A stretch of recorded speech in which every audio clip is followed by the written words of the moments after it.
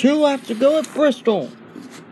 Mark Martin, Carl Edwards, and Kevin Harvick.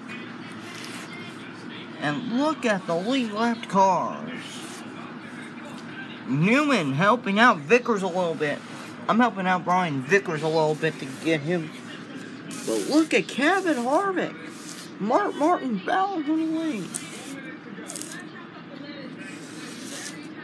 And who? Oh, Newman.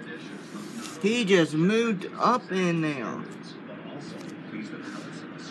And look at that. Jeff Gordon taking the lead. One more lap at Bristol. One more lap at the Sharpie 500, but Harvick. Harvick's not done yet. He's doing a good job. Everyone else moving up onto the spot. It's going to be a close battle between Harvick and Gordon. And Jeff Gordon trying to hold off Kevin Harvick. Ken Schrader doing a good job in this race for the Wood Brothers team. Harvick, Jeff Gordon.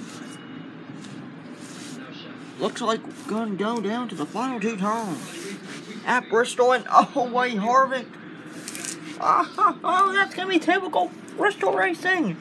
Harvick's gonna pass Jeff Gordon one more time.